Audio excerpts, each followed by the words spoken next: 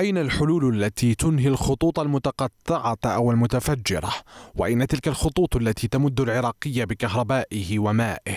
أسئلة كثيرة للإجابة أكثر من مشهد قد وصلت حدوده إلى إعلان حرب مستمرة لا عسكر فيها أو جنود إنما عبث ممنهج بثوابت الفوضى يفرق دم الأبراج بين القبائل أو تياره الكهربائي. في أقل من 24 ساعة يخسر العراق 16 برجا مع كارثة أكثر موتا عندما تؤول التحقيقات إلى ألغام مزروعة تحت أبراج أخرى. يحدث هذا كله في الصيف الذي يغيب عنه أهم ضيف بلغز يعرفه العراقيون. لكن لا طريق إلى فاعله غير الكلام المبعثر همسا في الظلام. وبين فصائل خارجة على القانون وأخرى تحت عباءة الإرهاب.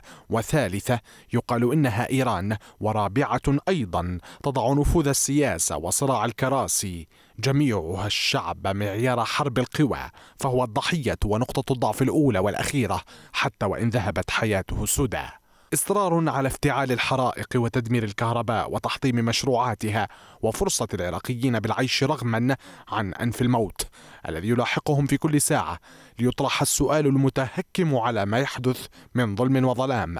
كم برجا مدمرا يحتاج العراق ليهنأ شعبه بالحياة.